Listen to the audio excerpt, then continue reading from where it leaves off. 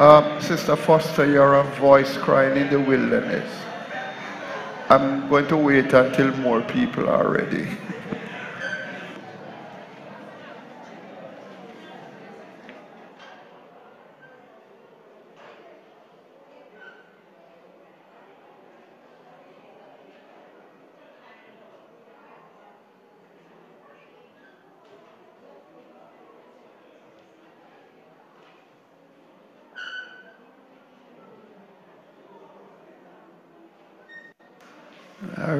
Are we ready now? You sure?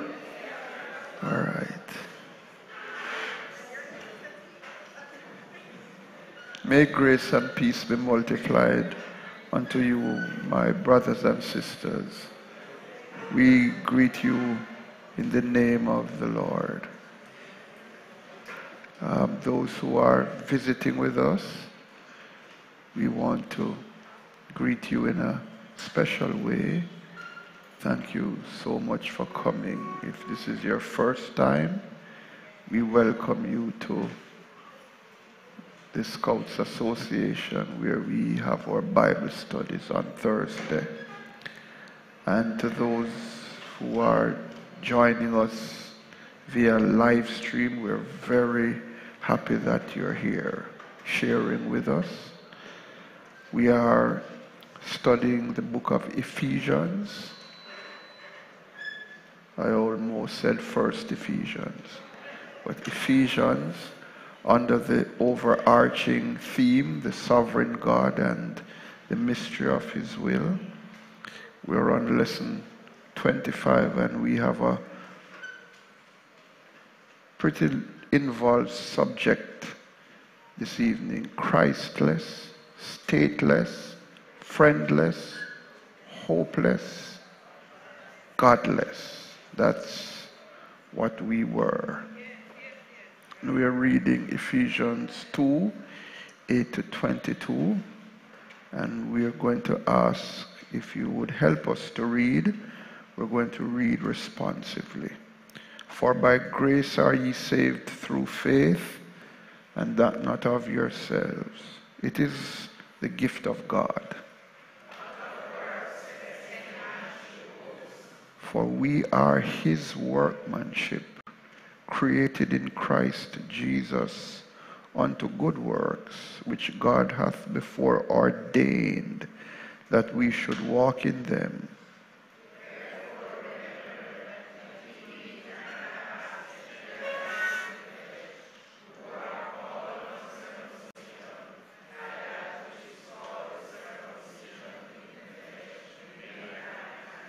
That at that time you were without Christ, being aliens from the commonwealth of Israel and strangers from the covenant of promise, having no hope and without God in the world.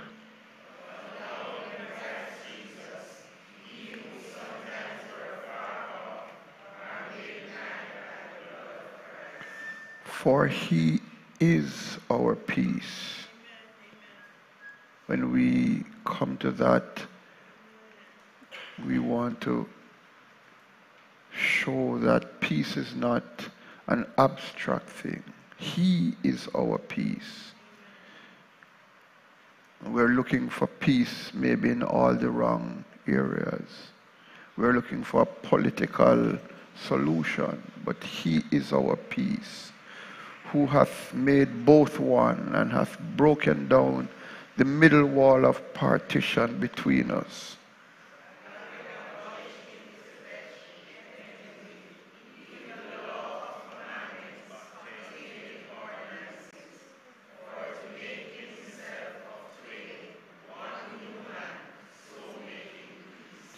and that he might reconcile both unto God in one body by the cross having slain the enmity thereby.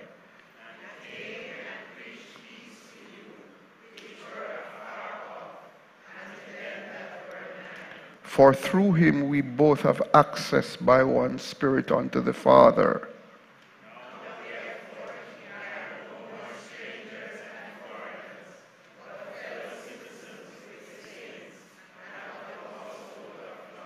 And are built upon the foundation of the apostles and prophets, Jesus Christ Himself being the chief cornerstone.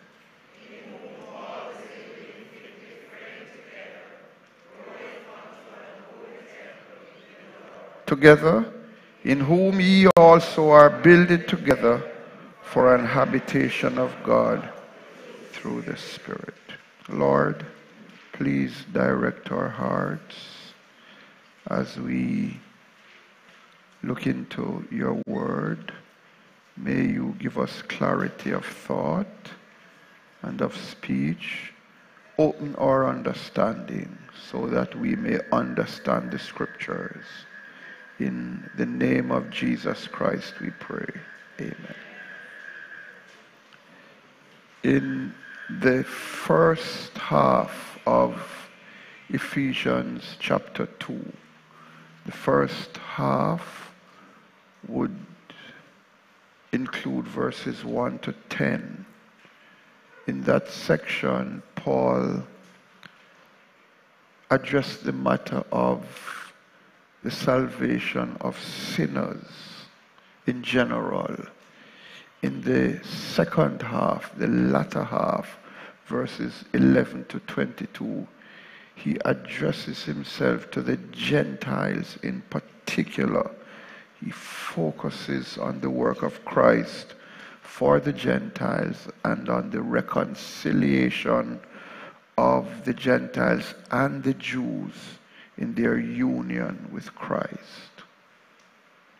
He wants us, let me say us, to understand that in the purpose and plan of God, both Jews and Gentiles have been brought together and made one in Christ. And we must understand that to us who are here today, what the Lord would be saying to us is that in his purpose and plan, all of us have been brought together and made one in Christ. One in Christ. So in verses 11 to 22, Paul explains that those who have been saved by the grace of God have become part of one body or a single family. The gospel, he says, extends to both Jews and Gentiles, and it extends hope, it extends promise, and it extends a relationship with God and each other. And each other. We must never forget that. When Jesus was asked, What is the great commandment in the law? He gave two. Thou shalt love the Lord thy God with all thy heart, with all thy soul, with all thy mind, and with all thy strength, and thou shalt love thy neighbor as thyself. He was not asked for the two premier commandments in the law, but he is saying to us in effect, the only way that you can give convincing evidence that you love the Lord with all your heart is to love your neighbor as yourself. If you don't love your neighbor as yourself, don't even try to tell God that you love him with all your heart. Because the proof of loving God with all your heart is loving your neighbor. So, so when God brings us into the church, we're not here individually trying to work our way to God. Brother, we need to bring that kind of thinking to an abrupt end. We are placed in the body of Christ so that we together can live for God and grow into a holy temple. Now, why Paul in this latter section kind of zeroes in on the Gentile members was because most of the church in Ephesus was comprised of Gentile believers. There were some Jews, but the majority of the people were Gentiles. And so he's saying to the Gentiles, look, if this is to work, you're going to have to play a part. Because there has been a long history of antagonism. And now that you are saved, you might be tempted to say, now we are on equal footing in the church. We're going to show you a thing or two because we outnumber you. Paul knew that if Christianity was to impact the world in any significant way, it was critical that the Jews and the Gentiles who had accepted Christ, it was critical for them now to live together in love and unity in one body, the church. Paul wanted to witness in the church of Ephesus the realization of God's purpose and plan. He wanted to see it lived out. This purpose and plan of God that the Jewish and Gentile believers, having been first reconciled to God through faith in Christ Jesus would now be reconciled to each other also in light of the fact that they were all members of one body. And there is, brethren, it doesn't matter how beautifully your choir sings. It doesn't matter how you extend yourself to minister to the poor and the needy. It doesn't matter how eloquent and anointed the ministers in the church are. It doesn't matter how many schools you have and daycare centers and um, old age homes. There is never a more powerful witness of a transformed life than the persons who are members of the church loving each other and living in unity.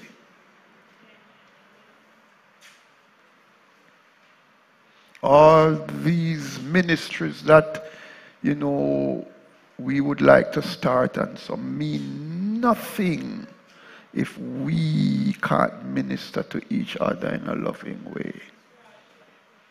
By this shall all men know that you are my disciples. Not if you start extension Sunday schools, not if you have uh, food for the poor, feeding situation over here, not if you have soup kitchen here, if you love one another as I have loved you. If you do nothing else, if you do that alone, people will know that you are the church.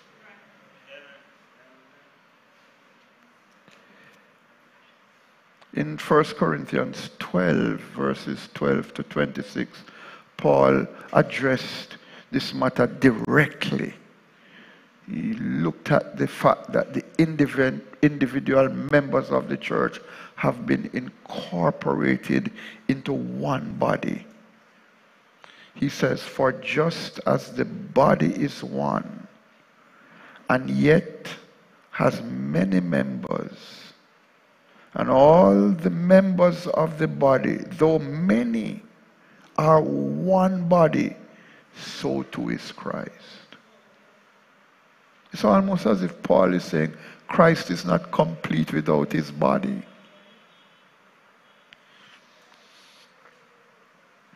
That's a very interesting thought. He says, so too is Christ, as if Christ needs us.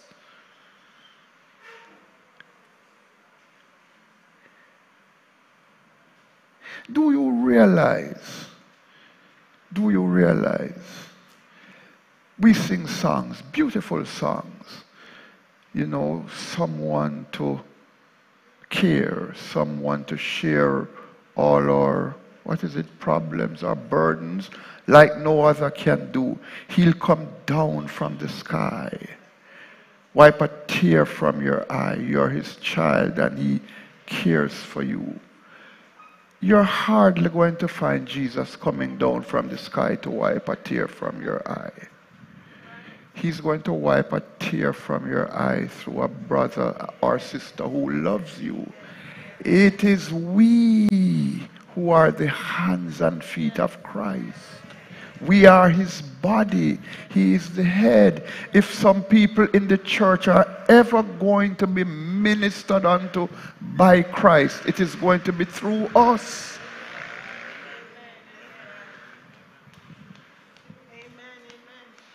Don't wait for Jesus to come down and brush a tear from your eye.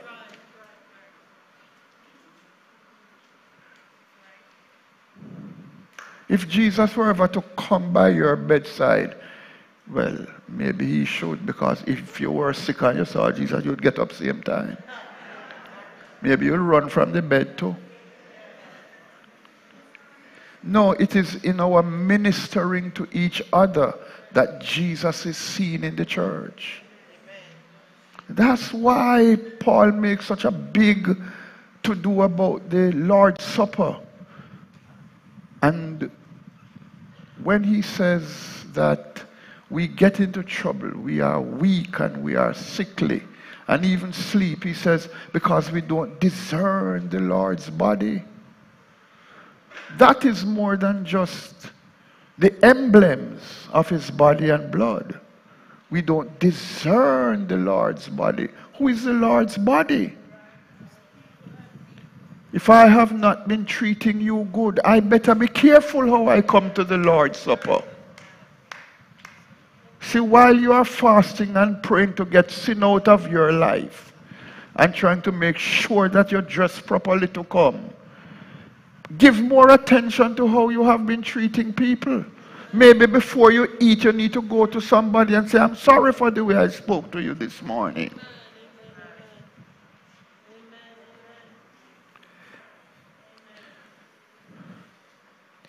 For in one spirit we are all baptized into one body, whether Jews or Greeks or slaves or free we are all made to drink of the one Spirit.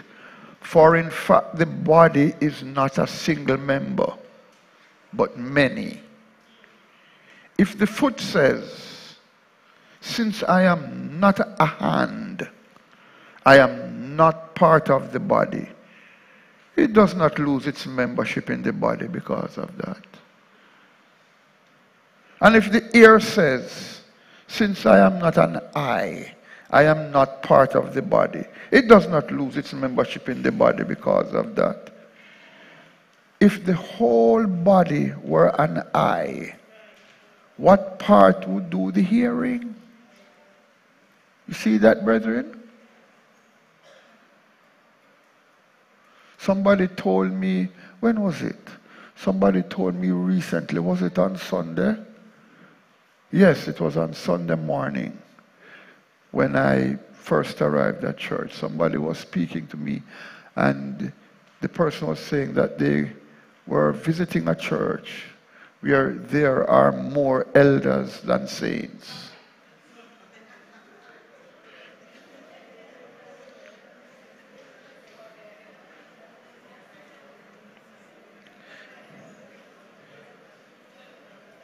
More chiefs than Indians.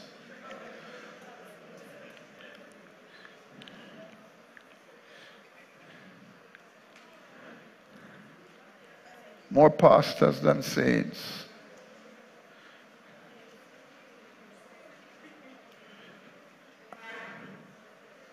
If the whole were an ear, what part will exercise the sense of smell? You see what we are saying, brethren? You understand what we are saying? But as a matter of fact, God has placed each of the members in the body just as he decided. Just as he decided. He decided to place the heart here and the kidney down here. He decided. And because God has decided, there, as far as I know, are no success stories of anybody putting a kidney up here and a heart down here. You understand that that has implications for the church. When we are in the wrong position in the body, the body suffers.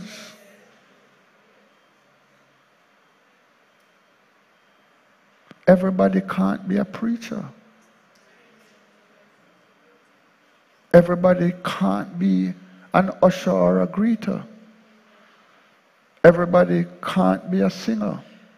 If you don't have a good singing voice, that is not your ministry. It is not my ministry. I would like it to be. I earnestly wish that I could sing. And people have told me that I have improved over the years. So, you know, when I started, it was bad. If they were all the same member, where would the body be? Think about it. Think about it. If the body was just comprised of a heart and nothing else, that would probably be a powerful heart. But where would it go? Who would take it anywhere? How would it think? It would be just a big pump. But where would the blood go?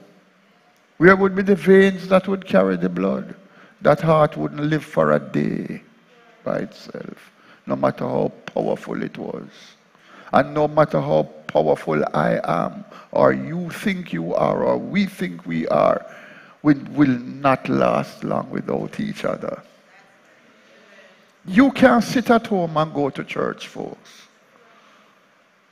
You can't stay at home and say you are in church.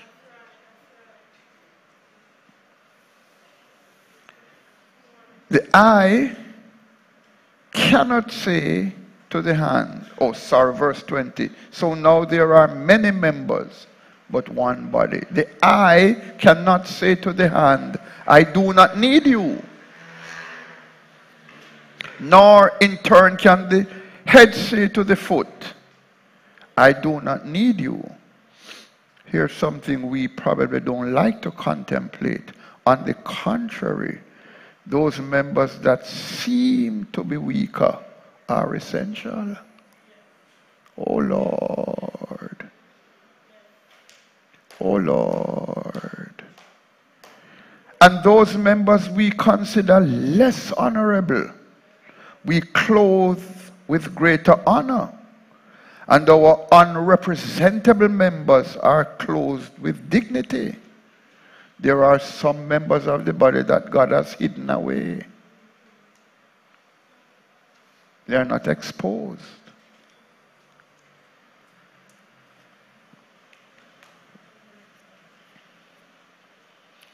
But that doesn't mean they are not important. Some of the members that are hidden away are more important than some that are exposed.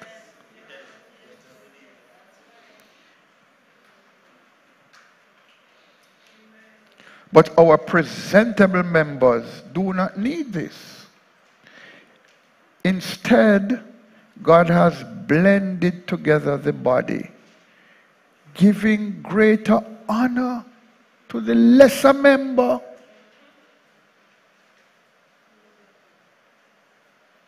Anybody in here think you are a big member of the Grace Workshop?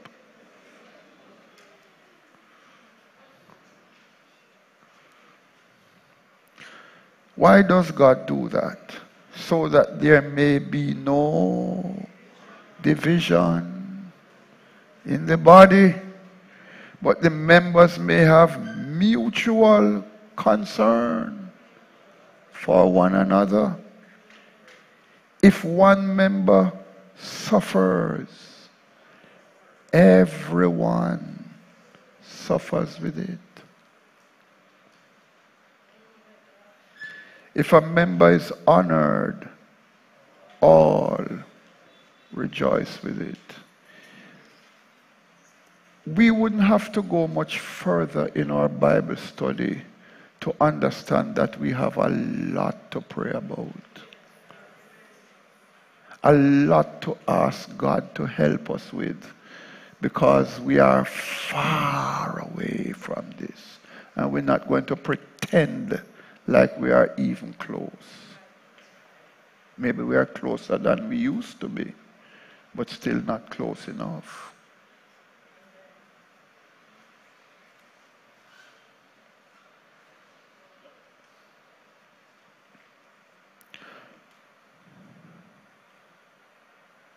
See, what we would rather have is a ministry to take care of this. What we want is for somebody to be employed full time who will make sure to call everybody who was absent last Sunday while we kick back.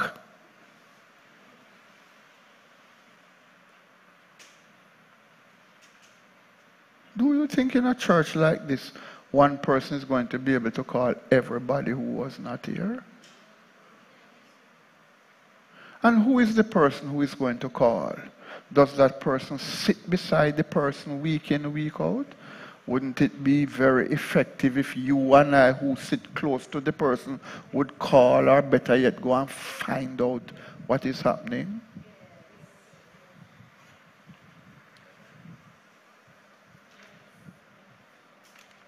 We want a ministry to solve every problem. Every little thing that comes up, let's establish a committee to deal with it. Because we really don't care for the body. Do you remember that Joseph of Arimathea, who was apparently a member of the Sanhedrin Council, went to Pontius Pilate and begged for the body of Jesus. And when he begged for the body of Jesus, the body of Jesus was in a horrible state. I hear a lot of talk about those who love the church. Love the church. They love the church, but they want to be in a perfect church. You don't love the church. You don't know anything about the church. The church will never be perfect. Not down here.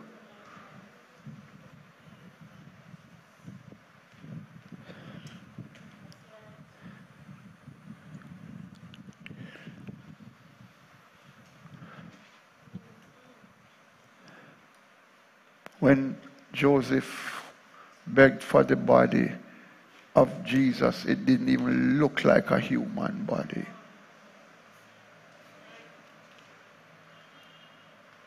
You have to learn to love the body with all its faults, with all its scars, with all its bruises, with all its faults.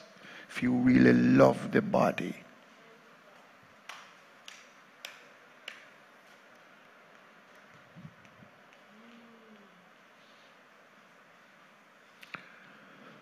There's a message that I have been trying to preach for a couple of weeks now. I've asked you to send me some old garbage, and some of you have responded, and I'm so grateful. But I have not been allowed to preach that message yet. I thought I was ready. But when I do, I'll tell you about a church administrator who, a young man, and he had occasion to go to his pastor. And he said to his pastor, he said, Pastor, there is no doubt that we give a lot of trouble. There is no doubt that we need scolding. There is no doubt that we need a lot of warnings and instructions.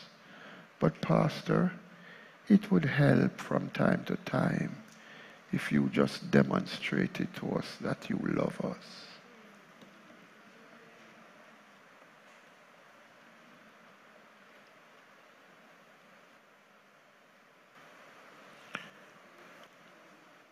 When I heard that, I wanted to quit. I said, Lord, this is too great for me. This is too great for me. Body of Christ. See, we want to be in a church and never have to work hard and never have to be rubbed the wrong way. We want to be in a church where everybody smells of lavender.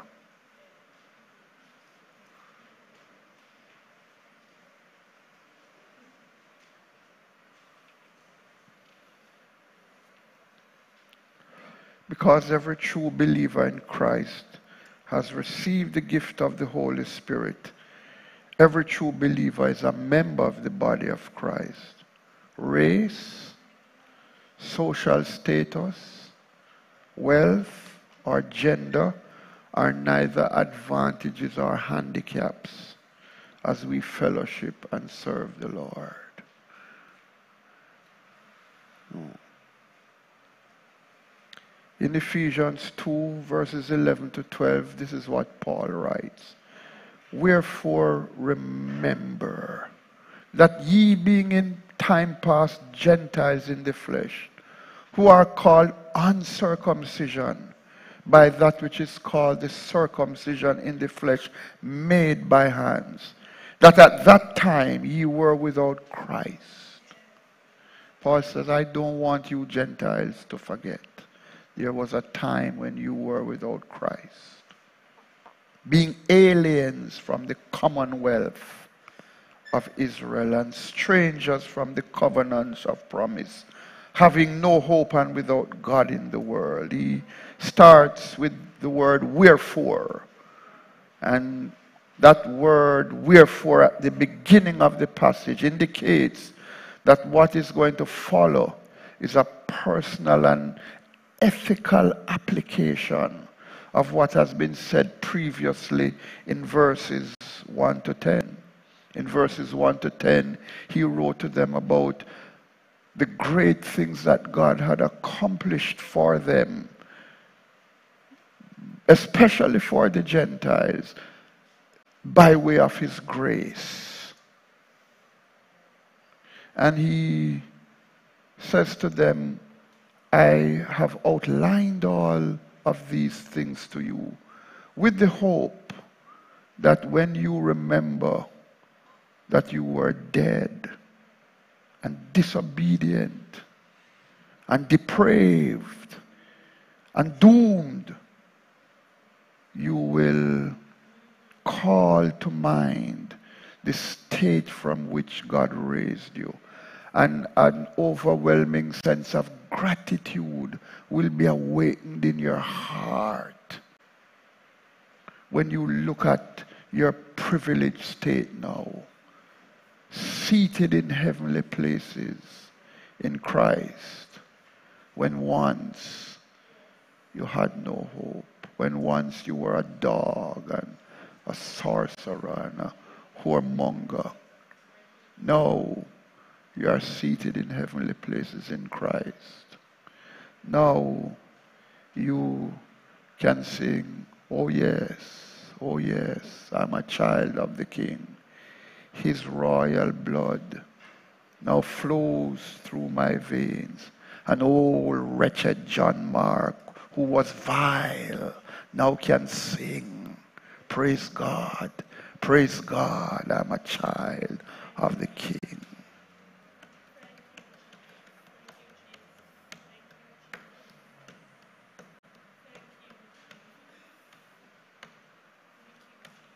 When I remember that, I just want to live for Him and to please Him and to do the good works that He has ordained for me to do.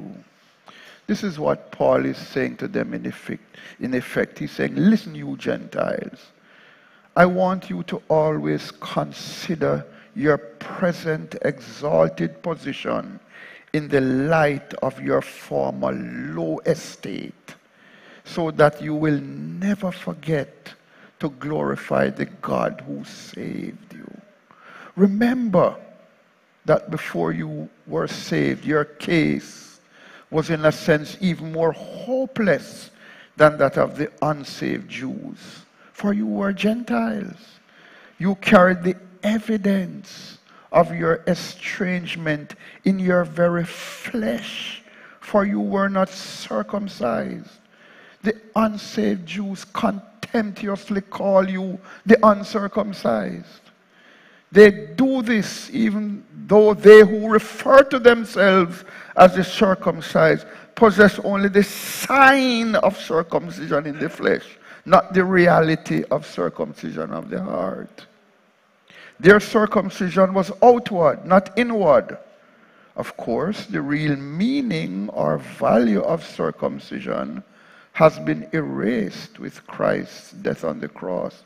Yet, in this outward mark, the Jews continue to glory while they despise all others, including you, you Ephesians.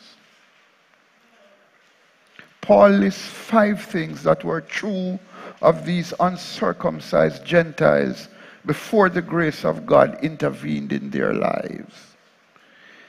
These five things clearly indicate how desperate and miserable their condition was. The word that best describes their pre conversion state is the word without.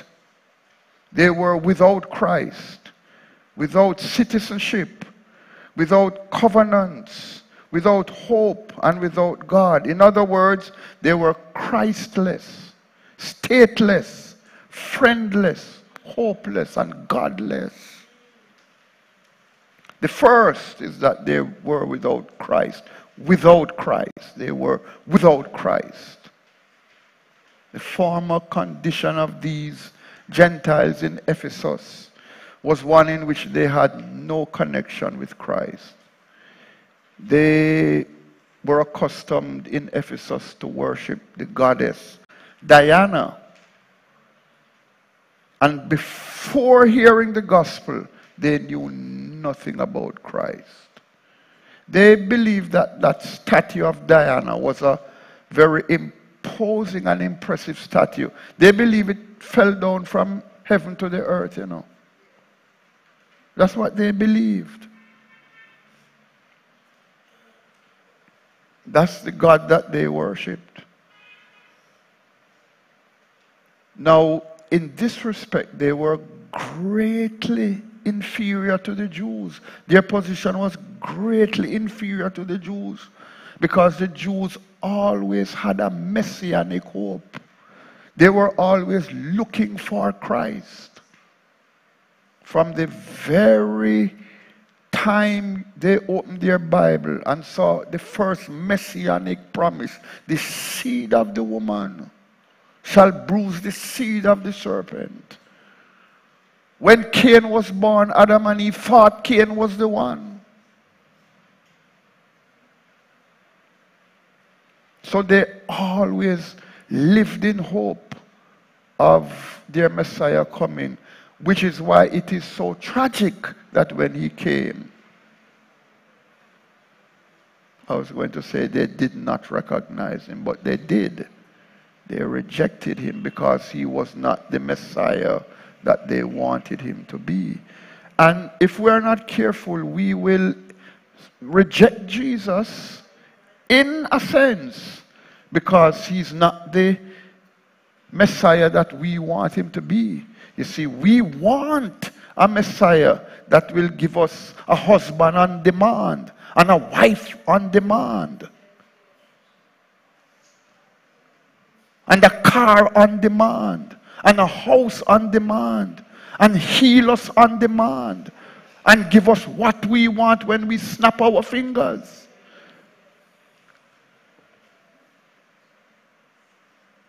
Anyhow, that's not my burden tonight. It is important for us to understand that when Paul speaks of the Gentiles as being without Christ, he was not saying that before their conversion, Christ had had no interest in them. He was not saying that before they were saved, Christ had paid no attention to them. Because we know from chapter 1, verses 4 and 5, that they had been chosen in Christ before the foundation of the world. We know that. They had been predestinated to be holy and blameless. That had happened. So it, it is not that Jesus didn't know them, it's the fact that they didn't know anything about him at all. What Paul is saying is that before their conversion, before this conversion, they, they, they just had not experienced Christ in any sense whatever and they didn't even have an expectation of Christ. They didn't even have a thought that there was a Christ who was to come. At least the Jews had that. The Gentiles didn't have that. They were, they were, it's not that they were without Christ as Savior, but eh, they had no covenant connection with him at all. None. Just none. You can imagine the situation. Well, they didn't know. Paul is saying to them, You didn't even know. You didn't know how lost you were. Isn't that the same with us? These Gentiles had been groping in the darkness, filth, and despair of sin without any knowledge of how lost they were. Thus, their form, in their former state, they had been unspeakably wretched. To be lost and not know that you are lost is terrible. Their being without Christ, their lack of all relation to Him, was the first indication of the dark picture of their former heathen life. And all the other withouts that come after this, all of them result from this first one. You are without Christ. So if you are without Christ, you are without everything else. Because if you don't know the Son, you can't know the Father. Because it is the Father that has to introduce you to the it is the Son that has to introduce you to the Father. You can't know God unless you know Jesus. So if you don't have Christ, you have nothing at all. In considering this, let us keep in mind that every unsaved person, Jew or Gentile, is in a sense without Christ. And to remain in such a state means eternal condemnation. So I would like to use this opportunity tonight to appeal to anybody who is here who is without Christ. I want to appeal to you. You are in a very dangerous position. Please come to Christ. Please come to Christ. Before they were saved, the Ephesian Gentiles had been Christless, and so were we. Don't, don't lose that. We're not talking about an abstract situation. So were we. The second thing is that they were without citizenship. Paul says that they were aliens from the commonwealth of Israel. This phrase expresses the idea of being a stranger as contrasted with one who is at home with a person or an object. The word commonwealth is a translation of a Greek word which has two main senses. Firstly, a state or commonwealth, and secondly, citizenship or the rights of a citizen. I am of the view that Paul uses the word here in both senses. The Ephesians had no part in the theocracy, which was the Old Testament constitution under which God made himself known to the Jews and entered into relations with him or her. This is how this, this was the theocracy. It was God rule. God apparently never thought of operating a democracy. Even under the kings, it was a theocracy because the king ruled at the pleasure of God.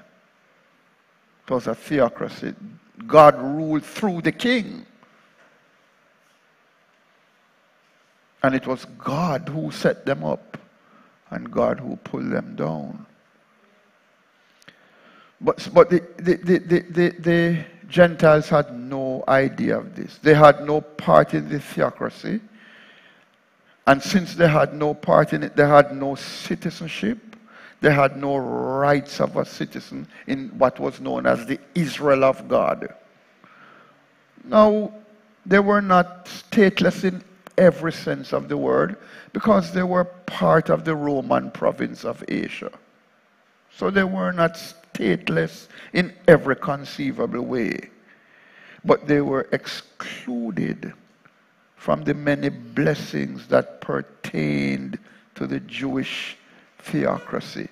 They lacked citizenship among the chosen people. Have you ever been in an environment where it was made very clear to you that you were not a citizen? Persons who travel have an understanding of this. Sometimes you go to the airport and it is pointed out to you very clearly. If you are a citizen here, visitor there. And the citizens always seem to get through quickly. And we understand that.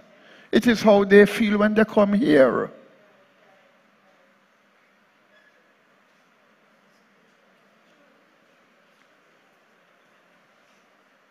It's not a nice thing. So brethren, do you, do you, none of us here, well, I don't think many of us have a sense of how a refugee feels who flees from one country and the country that he or she flees to is not even willing to accept them. Stateless. They don't have any rights. It's terrible.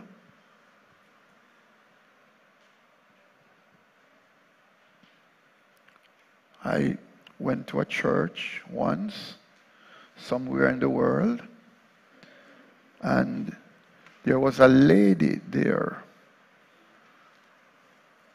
precious lady. She had come to that country from somewhere else in the world. And after the service, she came up to me and she said to me, In my country, I was a professor. I had a split level house and a swimming pool. But she said, I left to come to this country because I wanted to get away from all the rules it was a Muslim country. She said, I just couldn't continue living that way. And she said, now I am here and I'm barely surviving. But I would not give it up because I have met Jesus. And she introduced me to a young man and she said, he came up a few weeks ago, and he is going to be baptized next week. And I have told him, any church he goes where they have a lot of rules, do not go there. I could not leave a situation and come back into a situation like that. And she says, if this church does that, I am gone because there is freedom in Jesus. She understands it's not freedom to do what she wants, but it's freedom to do what he wants and not what a man wants. Because in many churches, it is not what God wants, it is what a man or a woman wants. If you don't like it, still swallow it. Because we're not backing down. We're going to serve it hot, cold, liquid, every way.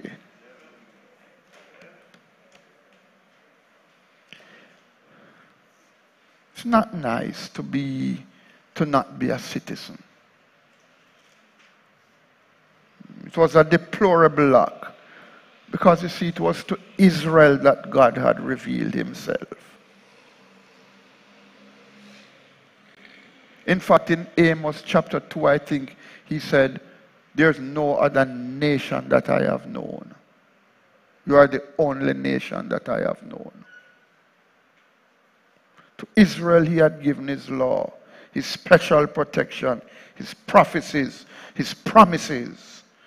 And Paul highlighted the special relationship that existed between God and the nation of Israel in Romans 9 4 to 5 he refers to his fellow countrymen in the following way. He says, who are Israelites. To them belong the adoption as sons, the glory, the covenants, the giving of the law, the temple worship, and the promises. To them belong the patriarchs, and from them by human descent came the Christ, who is God over all, blessed forever. Amen. He says, all of this is the inheritance of Israel. And sometimes I ask myself, how could so much come to so little?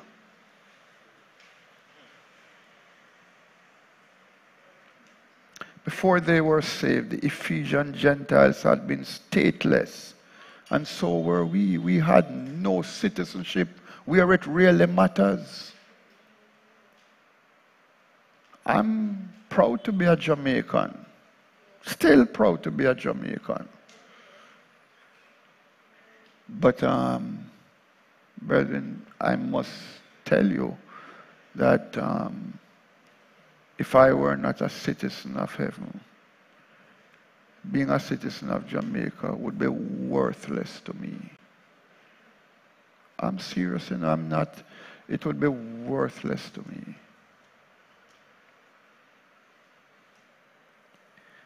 The only thing that makes me want to live is Jesus.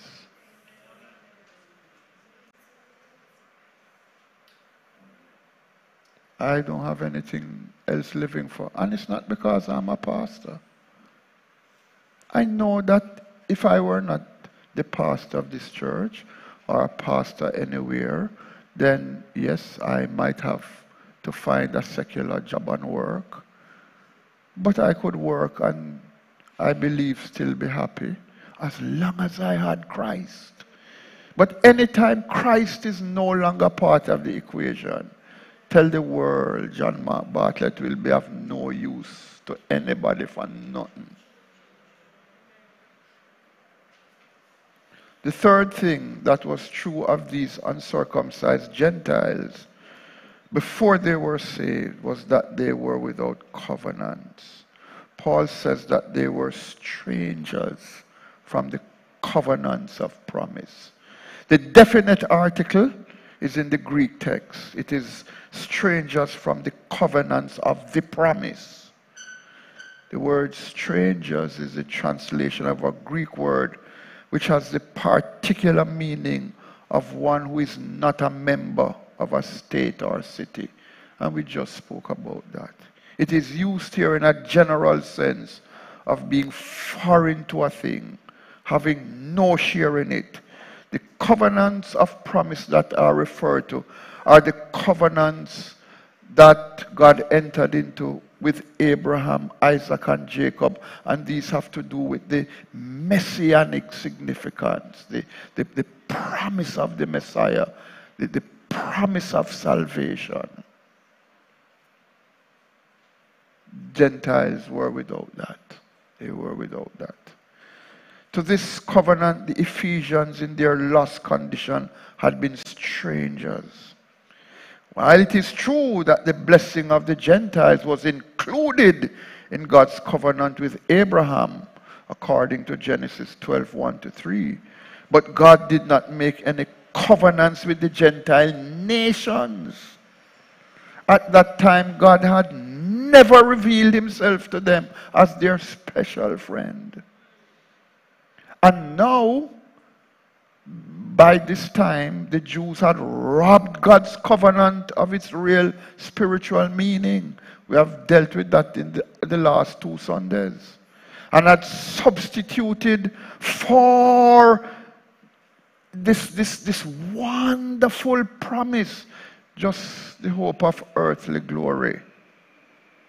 Since they had done that, they had not even been able to convey to the Gentiles the glory of God's promise. God did not raise up the Jews and reveal himself to them for their benefit only, you know. They were to be the channels through which the Gentile world would make him known. But the Jewish nation, they are pictured perfectly in Jonah.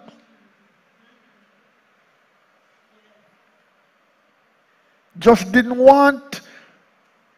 And I've heard people say, well, you know, the Ninevites were a wicked nation, and that's why Jonah didn't want to go. He was scared.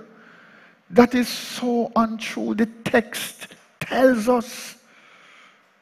Jonah says it to God in anger.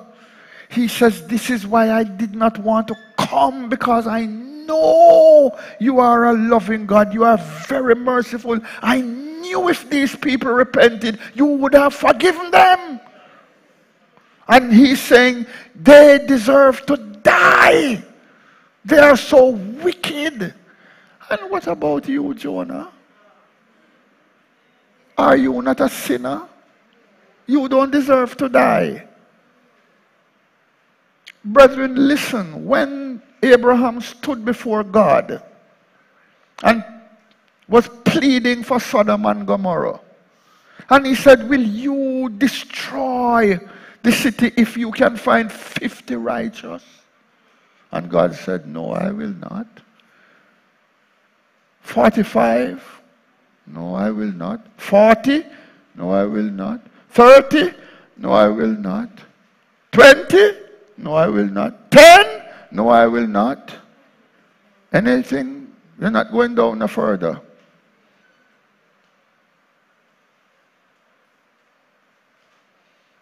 If you had gone down to one, a righteous person is a person who God says is righteous. There would be no righteous persons in Sodom. Go down to as low as you want. Some time ago, some a gentleman wrote a book. Why do bad things happen to good people?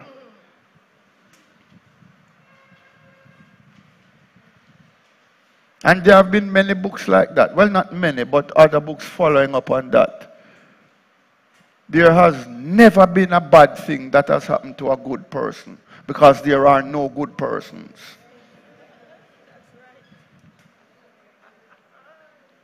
No bad things happen to good people because there is none good save one, and that is God. Jesus himself said that.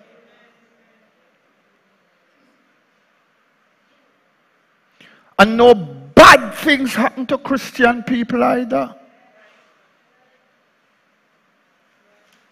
Because all things come from the hand of God.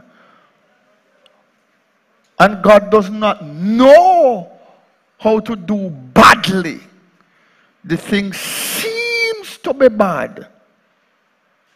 It appears to be bad. It feels bad.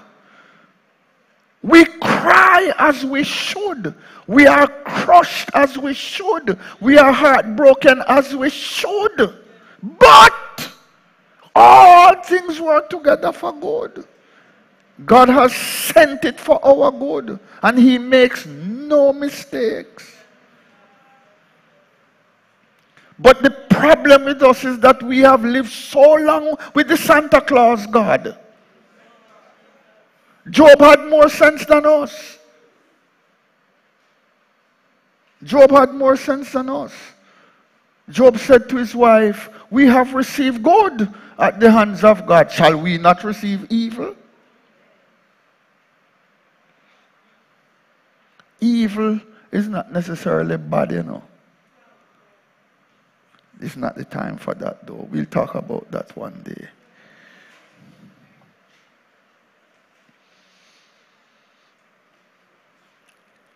Ah, Jesus, help us. Help us. Help us, the Grace Workshop, not to fail to convey your goodness to persons who are on the outside. Help us not to be so righteous in ourselves and to think that the thing belongs to us that we fail to understand that one of the main reasons why you have dug us out of the pit is so that we can tell our story to other pit people.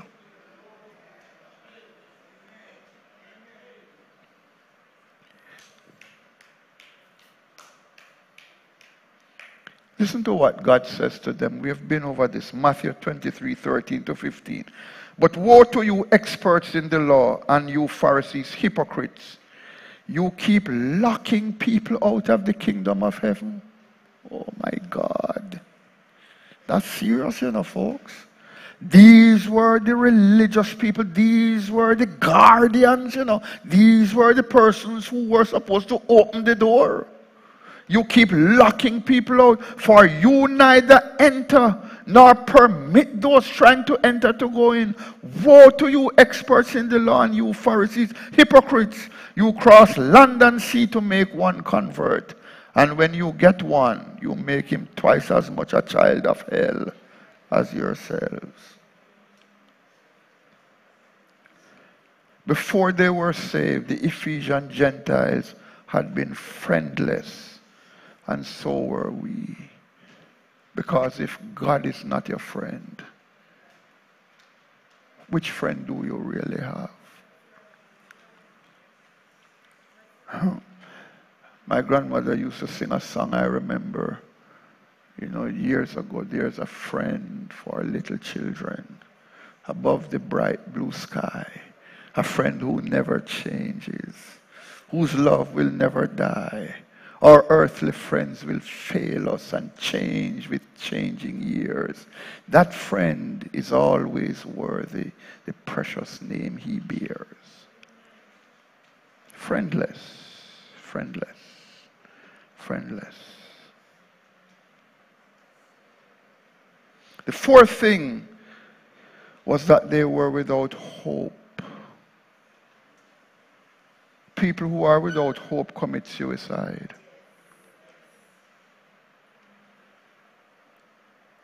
Some of us have been there. Don't put your hands up. I know it. Some of us have been there.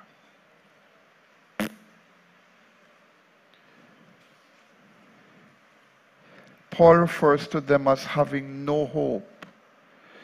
This follows very naturally, for the hope of the Christian is based on the divine promise. And since, as we have just seen, the Gentiles were strangers from the covenants of promise, they lacked any assurance of salvation. Such hope is one of God's most precious gifts.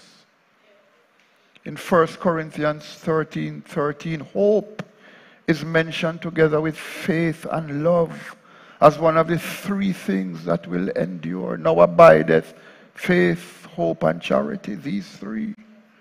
Hope, listen to me, this is a very important part of our lesson. Hope is a knowledge of God's promise coupled with a confidence that his promise will be fulfilled. All of us need to know the promise of God. And we need to believe the promise of God. Because that is where we get hope. And we need hope in this kind of world that we are living in. It is the conviction that all things will be well, even when all things seem to be going wrong. Hope never fails. It never disappoints. Because, like faith and love, it is a divine gift. In Romans 5, verse 5, Paul writes, And hope does not disappoint, because the love of God has been poured out in our hearts through the Holy Spirit who was given to us. So the love of God communicates to us so powerfully. This love of God that is shed abroad in our hearts by the Holy Ghost causes us to understand how much God loves us and gives us hope. In their lost condition, the Gentiles in Ephesus had lacked this hope. Think about it. Not only were they devoid of the messianic hope, which was one of the distinctions of the Jews. They, they, they weren't looking for Christ to come. But more than that, they were utterly without any hope whatsoever. They were completely ignorant of Jesus Christ and the salvation that he offered, and so they had nothing to hope for beyond this world. Instead, they had been filled with fear and despair. Brethren, almost every time I pray, I say to the Lord, Lord, perhaps you're not. I don't say this every time, but sometimes I say, Lord, I want to explain my situation to you because maybe you don't fully understand. Serious. I say, Lord, I, I, you are my only hope. Only hope. My expectation is of you. I said, You understand what that means, Lord? That means that without you, life is just empty and barren and meaningless for me. So I cannot function. I don't know about anybody else in the church. They have to pray for themselves. I cannot function without you. If I had not known you, then I would be all right. But you caused me to know you.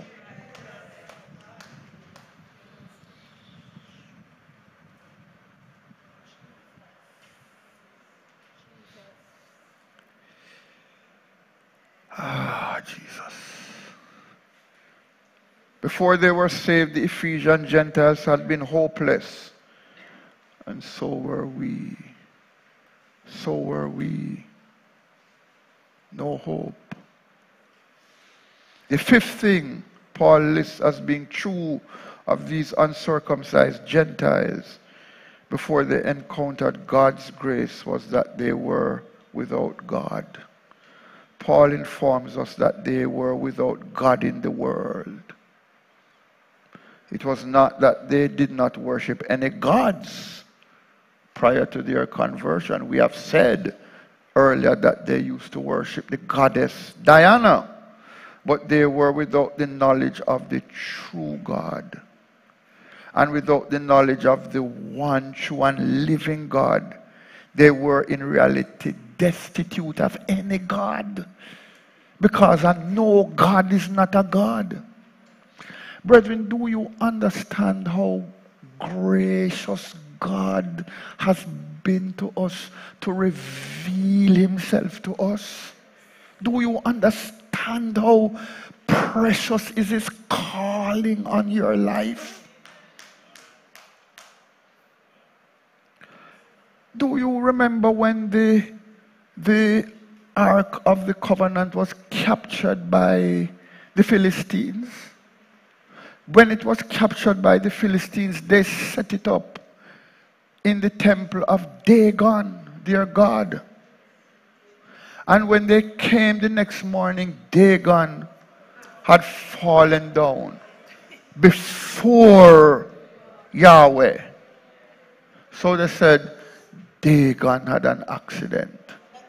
So they put Dagon up back. And the next morning when they came, Dagon was smashed into a million pieces. And they started now to get diseases. And there was a rat infestation. So they sent it to the other Philistine city.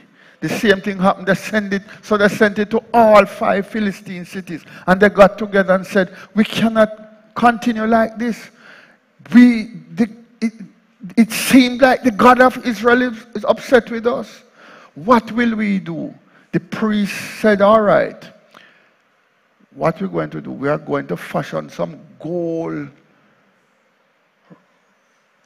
rats and some gold emerods. And we're going to put the, them with the ark on a cart. And we are going to attach the cart to two milking cows. Two milking cows, you know. The King James said M I L C H, but it's not milch, it's milk.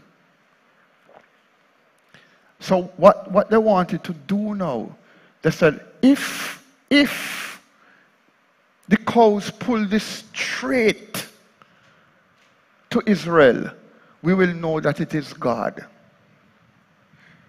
But if, it, if, if, if the cows turn aside to the right or to the left, we will know that it wasn't God that did it, it was just by chance. You, you see, all the proof they had earlier, they still didn't believe. So, what is God to do for them? That's why I'm telling you when we faith comes into our heart and we believe God and we believe Jesus, it's a wonderful thing that didn't come from us.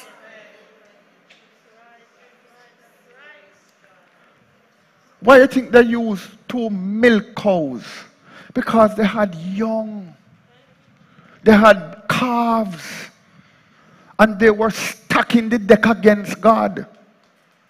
They were saying, if cows have calves, they're not going to carry this all the way to Israel. They're going to turn aside to go back to their calves. So they sent them and they were walking behind it. Some of them, the lords, were walking behind the cart. And the Bible says the, the, the, the cows went straight along the road, lowing as they went. When a cow is lowing, it is protesting. The cows were saying, We don't want to go, but there's a force. We want to turn back to our calf. Lowing is not a pleasant sound that cows make. They were crying. But something was leading them irresistibly till they, till they came. And when they came to Beth Shemesh, they stopped.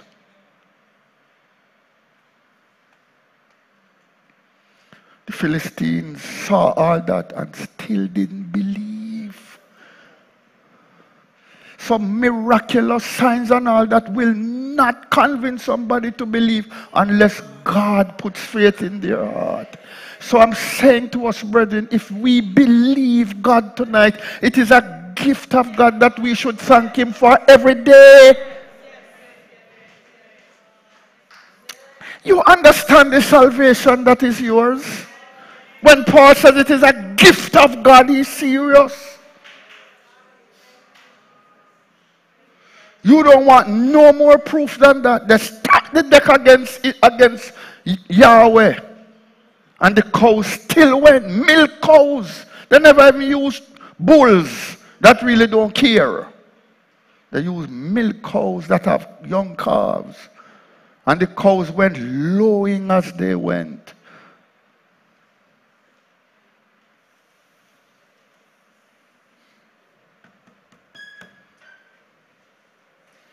Don't have no knowledge of God. They didn't have any knowledge of God. In Galatians 4 8, Paul writes the following to the Christians in Galatia Formerly, when you did not know God, you were enslaved to beings that by nature are no gods at all. Like the Galatians, the Gentile Ephesians had served and worshiped gods who were powerless. They were in truth without God in the world. How so? In the sense that they had been without the true knowledge of God and therefore without holiness, righteousness, peace, and the joy of salvation. Brethren, let me tell you, and this, this sounds, it sounds arrogant, like arrogance, but it's biblical truth. There is not one man in the, on the face of this earth that does not know there is a God. Some of them are honest and some are not.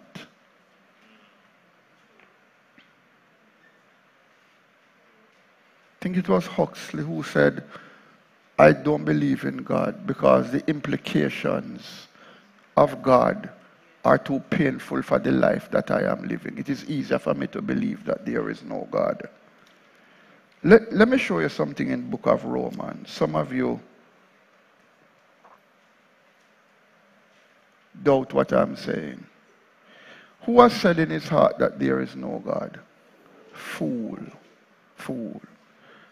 Romans 1, verse 18, Paul says this For the wrath of God is revealed from heaven against all ungodliness and unrighteousness of men who hold, that means to hold down the truth in unrighteousness. Listen to this.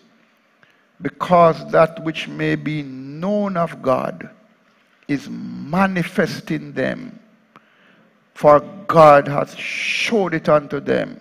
For the invisible things of him from the creation of the world are clearly seen, being understood by the things that are made, even his eternal power and Godhead, so that they are without excuse. They are without ex- this is not this is God's assessment. This is not Bartlett's assessment. I have said that it is not true. God says all of them are without excuse.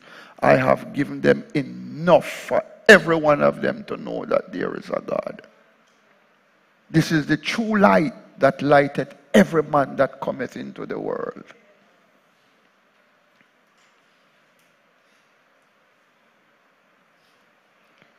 And brethren, hear me. Hear me. Man was made to worship. And if he doesn't worship God, the true God, he's going to worship a God. He's going to, and, and, and I told you on Sunday that John Calvin said the heart of man is an idol factory. We manufacture idols. And one of the biggest idols that we manufacture is ourselves. Many of us, well, some of us have become the God of our own idolatry.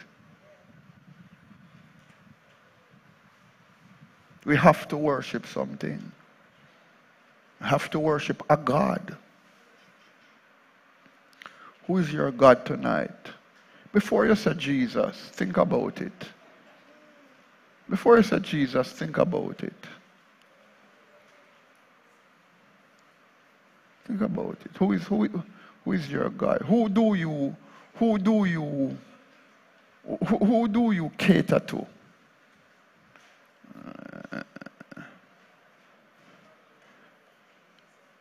There, there's a powerful statement that I found in Baker New Testament commentary. It, I, I hope it will affect you as it affects me. In commenting on the Gentiles being without God in the world, the commentary makes this observation. They had resembled mariners, sailors, who without compass and guide were adrift in a rudderless ship during a starless night on a tempestuous sea far away from the harbor. So he's saying, being without God, he's saying, let me give you an example of what that is like. That is like sailors who don't have no compass, no navigational tools at all, and they are adrift at sea. They are lost at sea. They don't have no compass and no guide. Their ship has no rudder. That means that even if they had a compass or a guide, they couldn't steer it in the direction that they want. They are in a, it's a starless night. So they can't look up and say, oh, based on how the stars are aligned, we are heading east, west, north, or south. And the sea is tempestuous. And they are far from any harbor. What a condition to be in. Don't laugh at people who don't know Jesus. Don't make a mockery of them. Cry for them. Cry for them. Cry for them. Pray for them. Try to tell them about Jesus. It's not a joke, brethren. It's not a joke. We must cheer. We, we need to cry. Song said, rescue the perishing, care for the dying, snatch them in pity from sin and the grave, weep o'er the erring one, lift up the fallen, tell them of Jesus, the mighty to save. Don't tell them about the Grace Workshop ministries. Tell them of Jesus, the mighty to save. Before they were saved, the Ephesian Gentiles had been godless, and so were we. In Ephesians 2 11 to 12, Paul reminds us of the condition in which we walked as unbelieving members of this world. He tells us that we were separated from each other, we were at animosity with each other. All of these damaged relationships are the result of sin.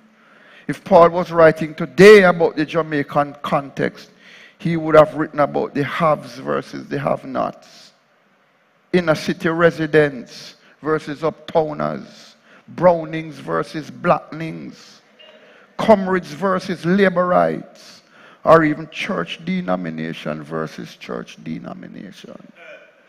Not just Jew and Gentile. We have holy more that divide us.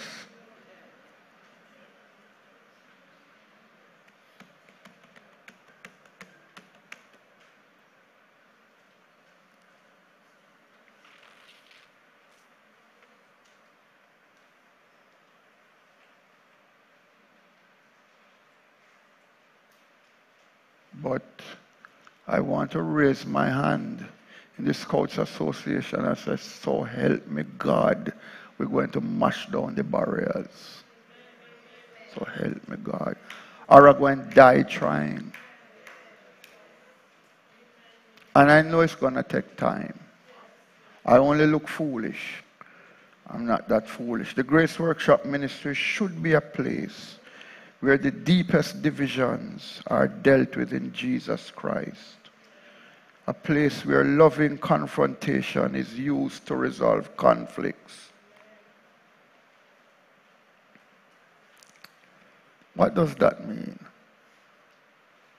That means if you heard, if Brother Wilson hears that Brother Peter says something about him, he's not going to go to Sister Jackie and say, I hear that Brother Peter said something about me. I may always know, say, not like me, you know. What he's going to do, he's going to go and say, Come here, Uncle P. I hear something. I don't believe that you would say a thing like that. But I just want to clear the air. How it go? Sister Jackie tell me so.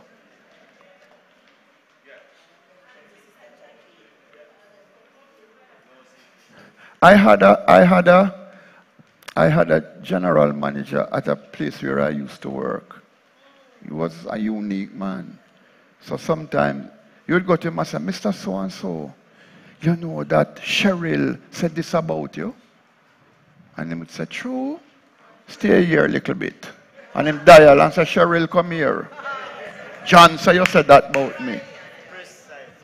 No news never got to him after that.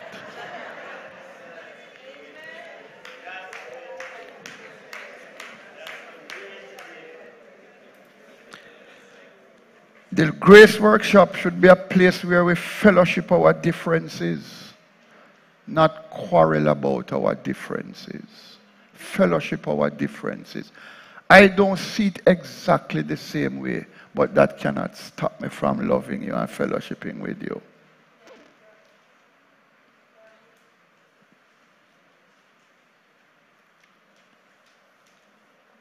The only way that these things can happen is if the gospel of grace is preached, taught, understood, believed, and applied.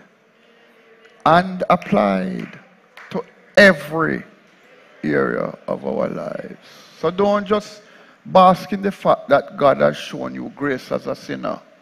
Show me grace too when I sin against you. You can't just be receiving grace.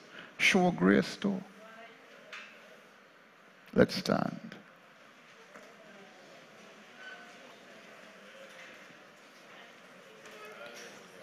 Lord Jesus, once again, we stand in your presence.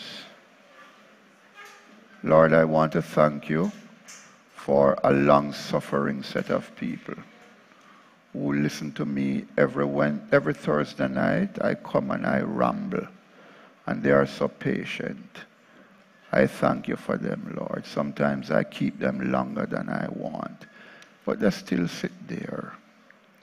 And it's not because they love to hear me, but it's because they love you and they love your word. Lord, Teach us because we have to change. We have to transition and we have to steadily allow you to conform us to the image of Jesus Christ.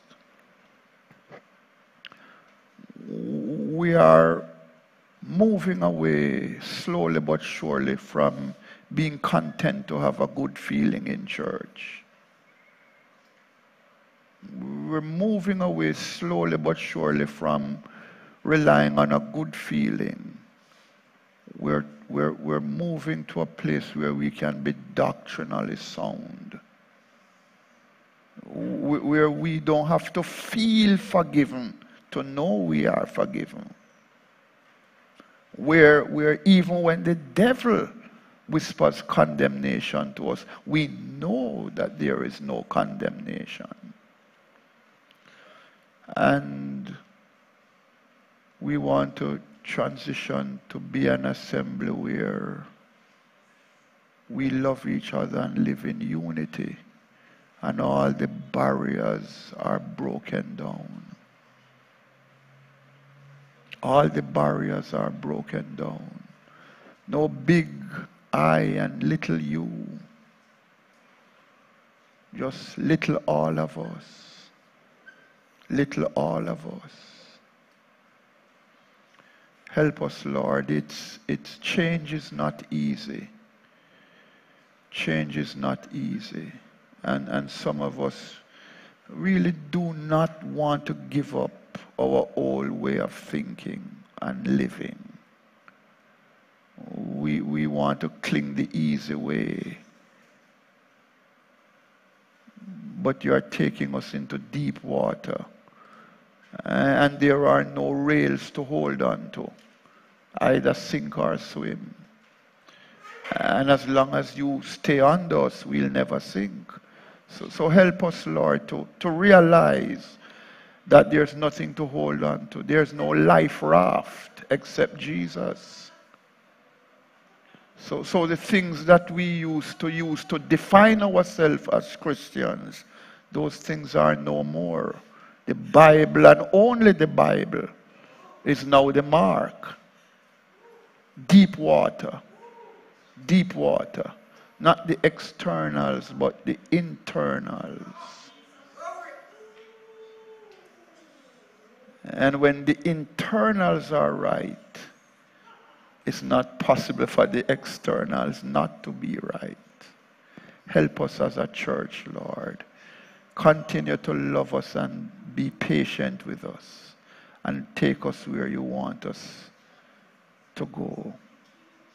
We commit ourselves into your hands. In Jesus' name. Come with an offering, brethren, please.